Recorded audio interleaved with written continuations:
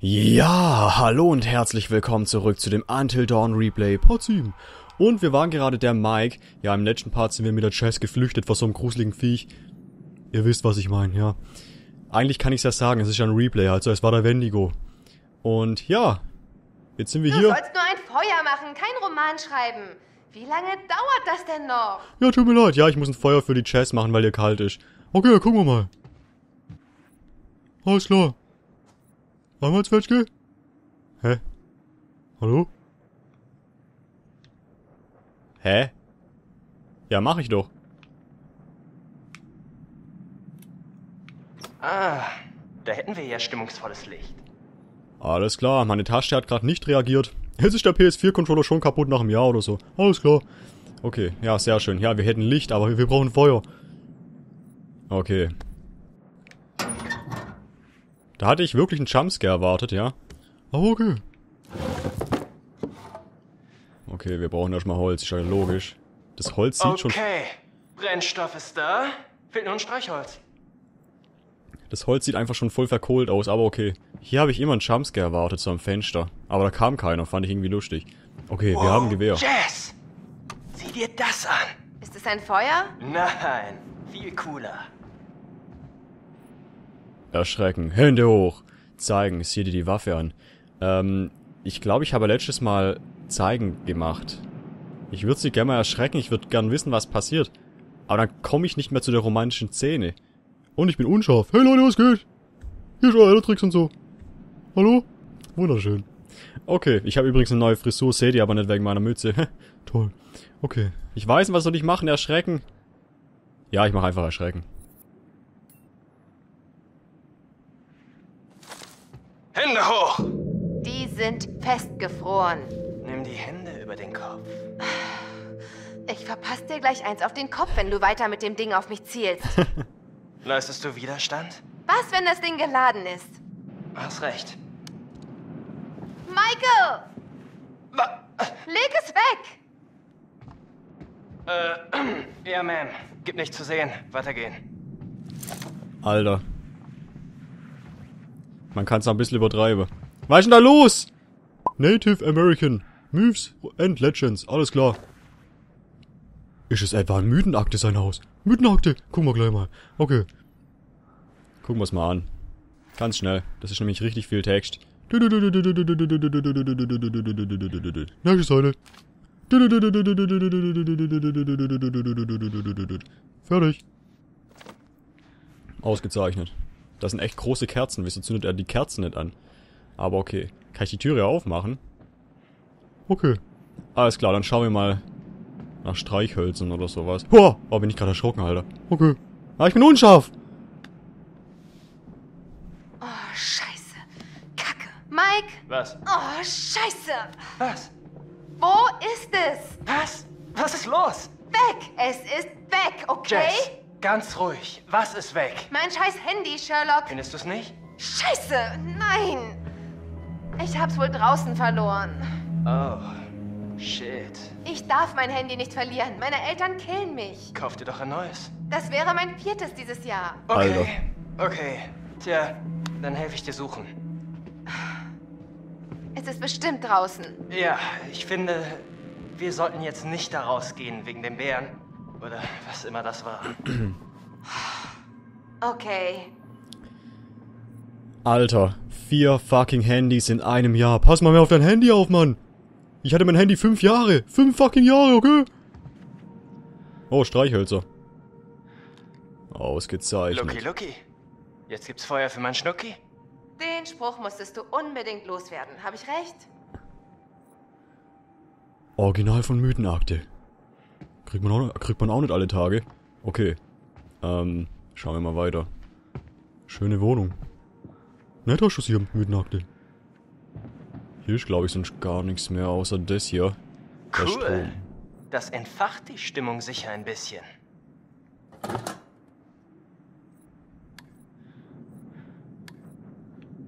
Oh! Hey, bist du okay? Was machst du denn da? Es. Es ist das Licht. Ich hab's gemerkt, du Trottel. Du hast es kaputt gemacht. Wahrscheinlich falsch verkabelt oder sowas. Du bist falsch verkabelt. Das kann gut sein. Ich bin die ganze Zeit unscharf. Leute, ich bin die ganze Zeit unscharf. Ich habe keinen Plan, woran das liegt. Es tut mir wirklich leid. Aber ich muss halt immer auf die Cam gucken, ob ich gerade unscharf bin. Wahrscheinlich, weil es halt so dunkel in meinem Zimmer ist. Richtig behindert. Ah, oh, okay. Ich bin doch scharf, okay. Was haben wir hier? Ein Bild. Oh. Aha.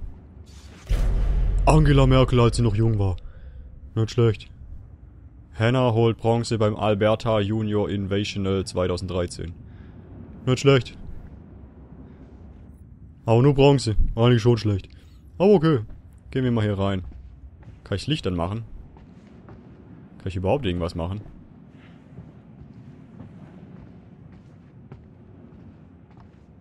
Fenster. Oh. Schon wieder ein Buch. Das Kamasutra, bearbeitet von Tom Heaton. Alles klar, machen wir's mal auf. So, Mythenakte. Oh, was haben wir denn hier? Die waren einfallsreich. Aber heftig. Mythenakte? Was hast du da mit dem Wendigos getrieben? Also ich find's nicht lustig.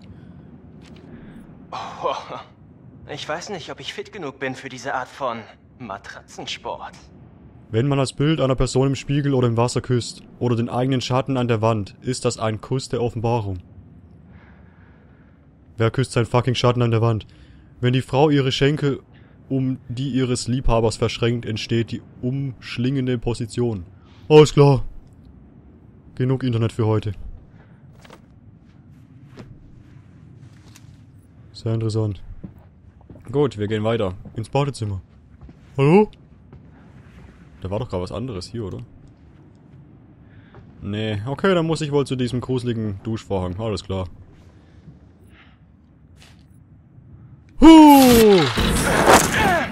Ah, Mann, verdammt! Äh, Weg, weg! Äh, äh, Verfluchte Scheiße! Fuck, fuck, shit! Wow, du kleiner Schisser, Mike. Komm schon. Alles klar. Mythenakte, ich find's langsam nicht mehr lustig. Komm jetzt mal raus. Mythenakte, bist du im Klo? Hallo? Okay, ich glaube, er ist tot. Scheiße, Alter. Voll gruselig hier, die Hütte. Und das soll ein Liebesnest sein. Alter. Okay, ich gehe zurück. Dann gehen wir mal zurück, Mike. Es wäre voll geil, wenn da was vorbeirennen würde oder so. Das wäre irgendwie voll gruselig. Tschüss. Und ich bin noch scharf. Ausgezeichnet. Okay. Hey. Sexy Lady, hast Bock auf ein Feuer? Dann schau mal genau hin. Noch ein Streichholz, alles klar. Mike 1, Feuer 0. Wirklich schön. Bravo. Okay, my lady. Was kommt jetzt? Ich glaube, ah, mit Alkohol wäre es entspannter. Äh, na, wenn ich das früher gewusst hätte. Ich weiß nicht, ich irgendwie, ich bin noch nicht so weit. Willst mich verarschen? Wieso nicht? Beruhigen, was ist los? Verführen. Lass uns rummachen. Ähm, ich mache jetzt mal das komplette Gegenteil, was ich letztes Mal gemacht habe. Ich habe sie beruhigt. Jetzt verführen wir sie mal. Vielleicht müssen wir einfach den Sprung wagen. Weißt du, wie ein Sprung in den Swimmingpool. Was? Vielleicht sollten wir einfach ein bisschen, du weißt schon, rumknutschen und sehen, was daraus wird. Äh, echt jetzt? Dachtest du, die Nummer zieht? Hat sie bisher immer. Blöd, Mann. Hört deine Flamme nächstes Jahr dieselben Sprüche, wenn sie meine Initialen im Baum sieht? Autsch. Ich hab's verkackt. Mike, die Fensterläden.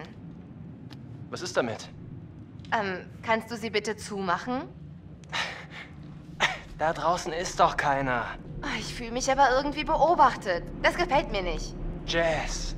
Wirklich, alles gut. Es gefällt mir wirklich nicht. Okay. Fensterläden zu. Oh nein. Okay, aber da ist ja zum Glück niemand. Ja gut. Das wird wohl nichts, dass sich die Chess auszieht. Äh, ja, ich hab's verkackt. okay. Alles klar, dann machen wir einfach mal die Fensterläden zu. Einmal Tomate. Komm schon. Und einmal Zwetschge. Ja, zweimal Zwetschge. Ach, ich bin halt geistig behindert, Alter. Was für ein missgebürtiger Part. Die Läden sind dicht. So, wo waren wir? Tut mir leid.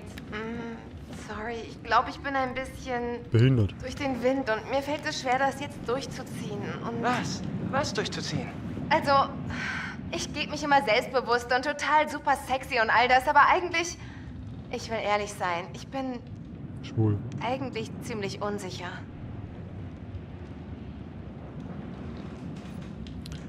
Beruhigend. Du bist super heiß. Abschätzig. Klingt kompliziert. Äh, ja, mach mal beruhigend, wie auch beim letzten Mal. Chess. Das kann nicht dein Ernst sein. Was? Es gibt gar nichts, weswegen du unsicher sein musst. Oh, du hast keine Ahnung. Sicher doch. Du bist genau wie ich und jeder sonst. Wir sind alle unsicher. Aber du hast ein Händchen für große Auftritte. Du glaubst, es ist fake, aber es ist echt. Ja, ich schätze schon. Ja. Und das ist super mega scharf.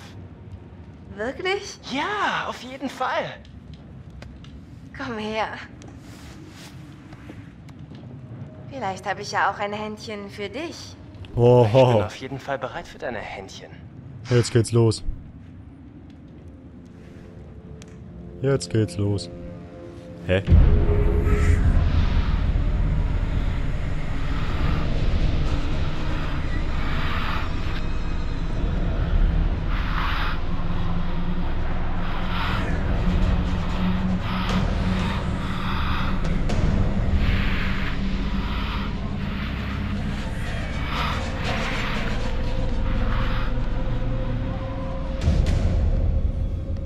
Oh shit.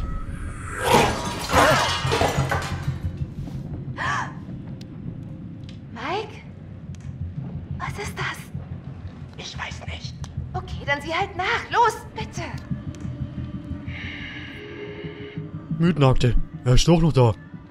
Hey, Mythenakte. Es geht nicht. Ich hatte fast Sex, okay? Ich hatte fast fucking nochmal Sex. Mit meiner Freundin, ja? Und jetzt? Jetzt kommst du hier rein, oder was? Ich glaube, es war eine Mythenakte. Mythenakte? Oh shit, Alter. Okay. Dein Telefon! Was? Wieso denn mein Telefon? Keine Ahnung, es kam halt das Fenster. Oh, verfluchte Scheiße. Verdammt, Mann. Was? Diese verdammten Arschlöcher sind uns bestimmt gefolgt, um uns zu erschrecken, wenn wir gerade zur Sache kommen wollten. Oh.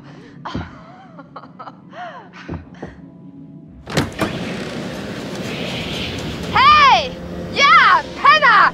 Ich meine euch! Ich weiß, dass ihr da seid!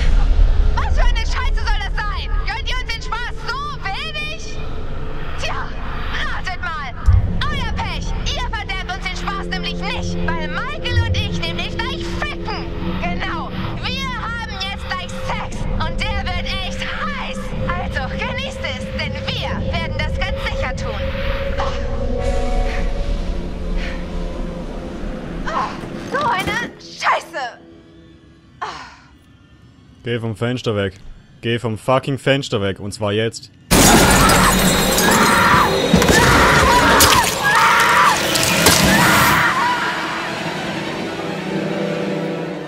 Frohe Weihnachten.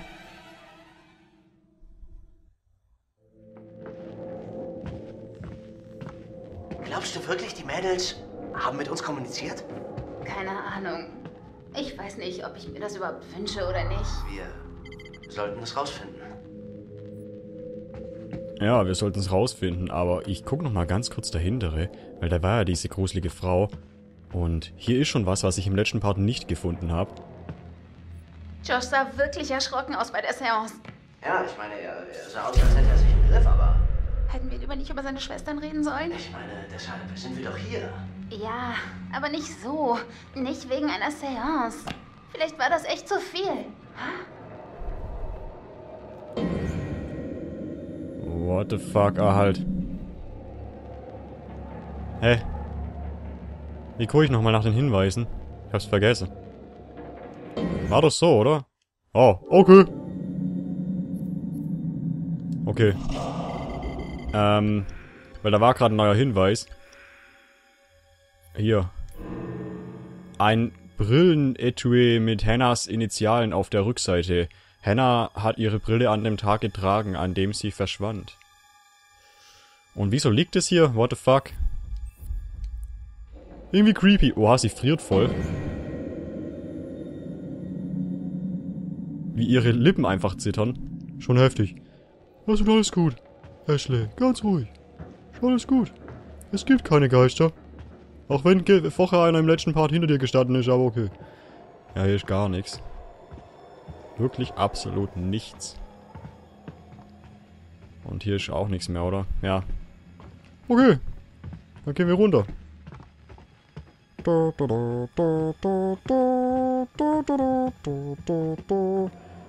Ich finde es immer richtig cool, dass ich die Kerze so hin und her bewegen kann.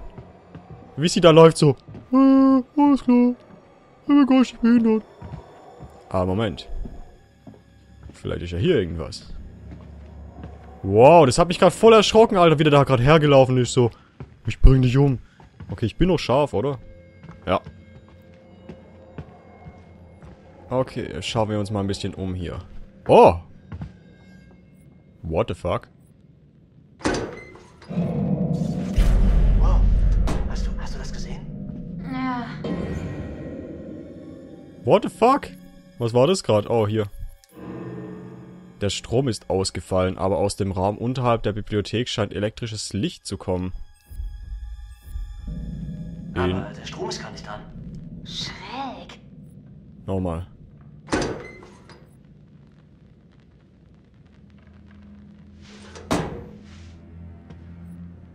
Okay, ist irgendwie fucking gruselig, aber okay. Wir schauen weiter. Halt. Ich will erstmal schauen, was hier ist, ob ich die Türe aufmachen kann.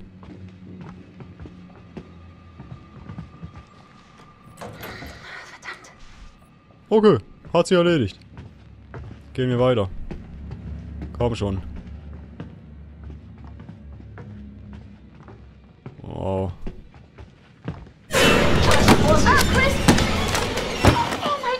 Alles okay? Ich glaube schon.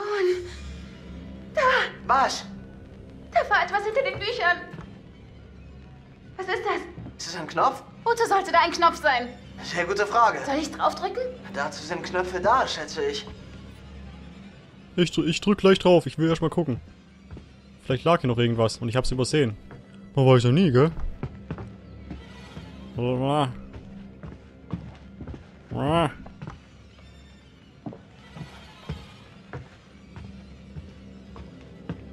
Okay, ich glaube, hier liegt wirklich nichts mehr. Alter, Chris, lauf mir die ganze Zeit hinterher. Jetzt ohne Spaß. Okay. Dann sterben wir mal. Wow, Wand geht auf, Kopf explodiert. Sind wir hier in einem Film oder sowas? Falls ja, hoffe ich auf eine Komödie. Typisch für die Washingtons, sogar mit Geheimgängen im Haus. Vielleicht wussten sie nichts davon, das Haus ist super alt. Und sollen wir reingehen? Ja, geh vor. Nee, nee, nee, nee, nee. Du gehst. Vielen Dank. Oh shit. Kann ich vielleicht mit Chris die Türe öffnen? Das versuche ich jetzt mal. Wo geht's eigentlich da lang? Achso, nirgends. Wow, okay, das war fucking creepy, Alter. Wieso ist jetzt die Türe aufgegangen? Was war das? Halt mal, ich... Ich muss erstmal da rein. Ich muss erstmal da rein. Okay, eine fucking Kamera. Okay. Wow, Was? wow, Was ist das? Ich werde sie holen und wie Schweine ausbluten lassen und ihnen die weiche, weiße Haut abziehen. 16 beschissene Jahre. 16 Jahre habe ich auf die beiden süßen Hannah und Beth gewartet. okay. Heilige Scheiße. Beschützend, hier ist nichts. Ehrlich, schau dir das an. Ich will ehrlich sein, wie auch im letzten Part, weil ich finde, beschützend, das bringt absolut gar nichts und ich will ja, dass alle überleben. Ich will nicht, dass irgendwie da nachher was rauskommt, dass irgendjemand stirbt, wenn ihr wisst, was ich meine. Hey Ash, ich äh, will nicht, dass du durchdrehst, aber sieh mal hier. Was? Chris, was ist das? Ich, ich glaube, der Beweis, den uns das Hexenbrett zeigen wollte. Der Hinweis? Ja, es ist ein Brief. Lass mich sehen. Es ist äh, eine Drohung. Chris, das ist kein Spaß. Wir müssen zu Josh. Jetzt gleich. Okay, ich bin dabei. Aber ich will mal kurz gucken.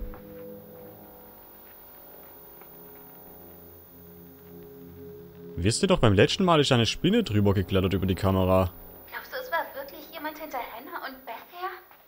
Wenn ja, dann wäre das wirklich beschissen. Okay. Dann gehen wir mal durch die gruselige Türe. Ich fand die Stel Stelle ja im richtigen Spiel, also was heißt im richtigen Spiel, in meinem ersten Durchgang vom Let's Play richtig gruselig. Weil ich nicht wusste, was kommt, ja. Alleine das jetzt gerade. Richtig abgefuckt, Alter. Ich habe auch jetzt noch voll Schiss. Okay, aber ich glaube, hier liegt gar nichts mehr an den Seiten. Man kann ja mal überall gucken. Oh! Sieh einer an, das habe ich auch nicht gefunden. 8. November 2013.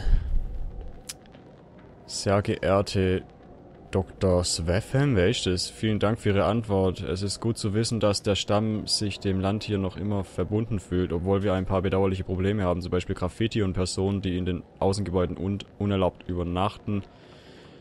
Äh, dies ist schließlich die Heimat ihrer Vorfahren. Ich habe mit dem Nachkommen des Stammes Kontakt aufgenommen und beabsichtige, ihrem Ältestenrat eine Spende zukommen la zu lassen. Die Wunden der Vergangenheit zu heilen. Wird nicht einfach sein, aber ich glaube, dass es ein notwendiger Schritt ist. Mit freundlichen Grüßen Melinda Washington. Auf der Rückseite habe wieder diesen Irren gesehen. Donnerstag 21.17 Uhr. Hing beim Generatorschuppen rum.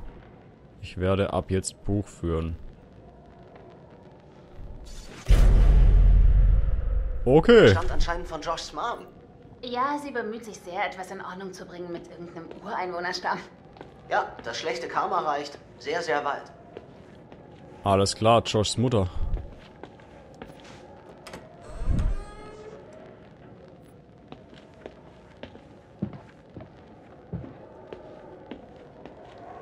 Wow. Da ist was. Ah, nee. Abgeschlossen? Wieso? Okay, ich habe echt Schiss gerade. Oh, shit. Okay, ganz ruhig. Es ist alles gut. Also, ähm.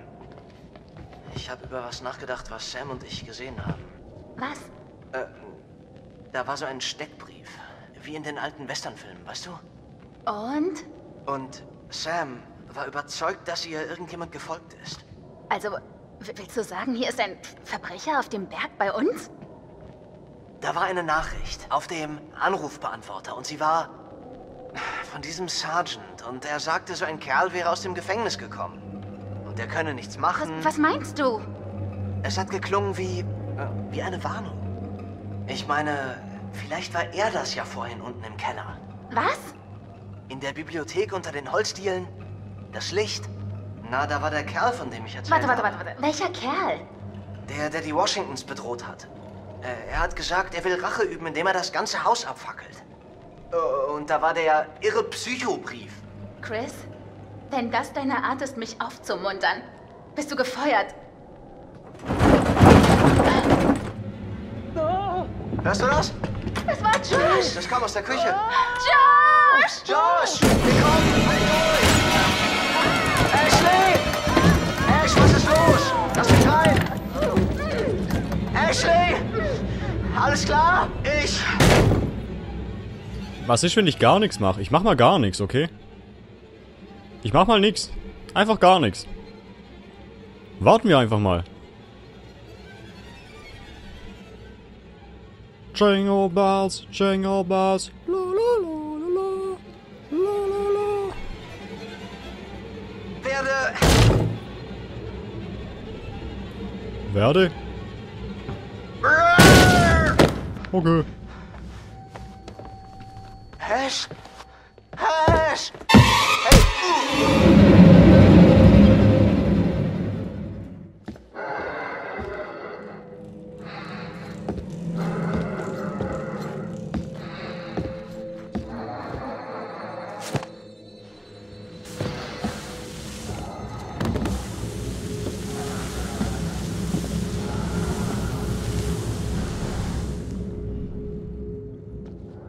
Alles klar.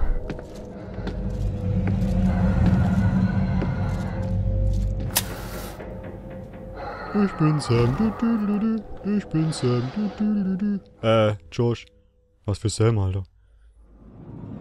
Okay. Oh, lecker Kaninchen. Danke, dass Sie mich zum Essen eingeladen haben, Sie Missgeburt.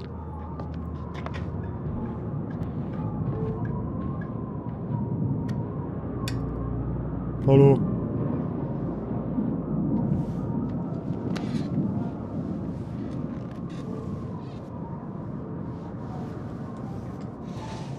Was? Ich zeige dir jetzt ein paar Bilder von Menschen, die du ganz gut kennst und magst. Aber möglicherweise magst du sie nicht so gern, wie du vorgibst. Alles klar. So, das ist eine Übung in Ehrlichkeit. Sag mir, welche Person du jeweils am meisten magst. Lass dir Zeit. Die Antworten sind von Bedeutung. Okay, ich lass mir Zeit. Aber ich werde den Part hier beenden, meine Freunde. Das ähm, mache ich dann im nächsten Part, die Entscheidungen treffen. Das wird bestimmt spannend. Und sorry, ich war in dem Part irgendwie behindert. Wie immer eigentlich. Aber okay, dann sehen wir uns im nächsten Part. Also bis dann. Ciao!